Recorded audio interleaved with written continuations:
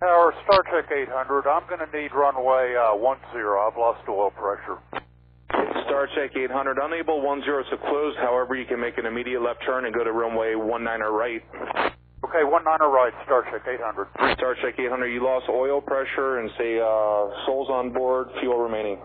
Souls on board is one, and I've got about three hours of fuel on board. Uh, we'll call it about 50 gallons. Do you want the equipment standing by?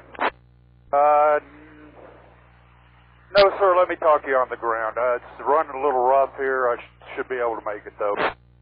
Star Check 800, Roger. The winds are uh, 120 at Niner, gusting to 14, runway 19 right, clear to land. Cleared land 19 right, Star Check 800. MPD4, what was his position? PD4, the uh, aircraft is uh, two and a half to three miles northwest of the airport, 2000, attempting landing runway 19 right. PD4, thanks. We're, we lost his uh, light very short to the runways. I have the wreckage in sight uh, inbound to uh, check on. PD, proceed as requested. All our vehicles, I need you to roll immediately, taxi or proceed via taxiway Juliet to runway 19 or right, proceed on runway uh, 19 right. It's hard to tell from this point. It looks like the uh, aircraft landed short of runway 19 right in the grass. No lights are visible at this time. At PD4, there is a fire. Aircraft is on the ground. There is a fire. He is short of the runway, west of the uh, approach. Uh, permission to land. I'm going to put my observer on the ground to try to rescue the pilot.